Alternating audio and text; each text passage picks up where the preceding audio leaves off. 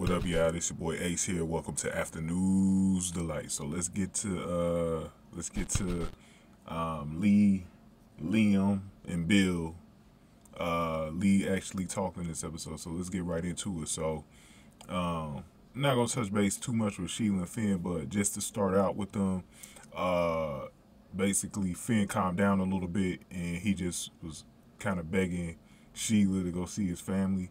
And we'll see if uh how this is going to turn out. Is Sheila just going to let him go see the family, or are they going to get caught now? Because now Liam and Bill knows about Finn because Li finally got a chance to speak. And I was talking with Sammy Thompson about this yesterday. And I said today might be the day where she might be able to speak because she is improving and stuff like that. And um, you know, um, I also wanted to talk about Finn a little bit. This I'm not going to turn this into a full on rant like I've been doing with him, but I just want to point out something because we were talking about this yesterday.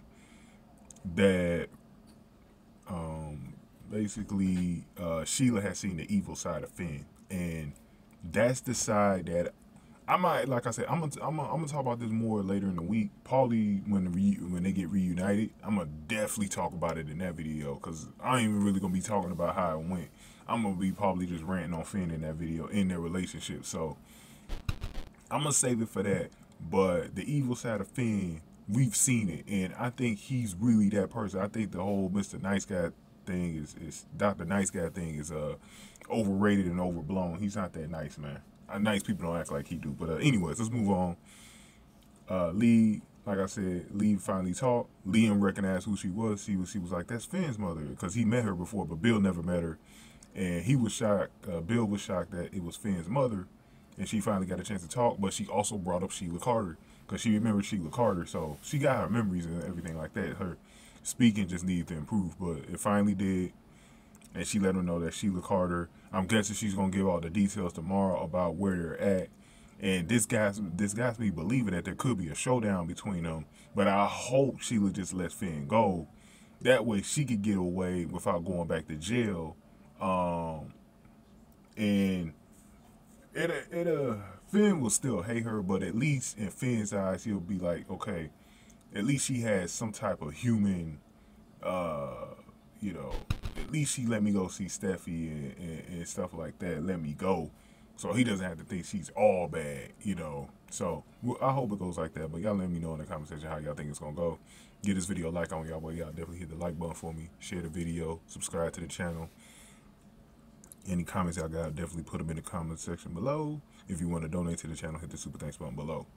Um, it's going to be interesting. It's going to be an interesting storyline to see the way they put this together, guys. I can't wait to hear from y'all um, about this new update. And uh, everything with this storyline should be wrapping up probably by sometime early next week, so we can finally move on to the next stages. I want to see Quinta Carter. That's I, that. That's honestly who I want to see. I want to see I saw uh, I saw Zende today, and I started getting amped to see Zende again. So I kind of want to see some different people next week.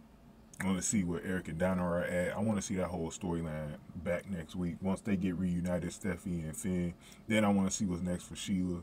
I want to see Taylor and Deacon together again. There's a lot of stuff that I want to see in August that we're not seeing right now because this storyline needs to hurry in. It's it's it's no it's this storyline being lost is sauce. Like the moment Sheila started losing everyone she loved and everything like that, I was like, okay, this is this is a little bit, you know, you know, and, and we knew Finn was going to reunite with Steffy, so a little bit of different situation for me if if Finn was like really kidnapped for months or something like that.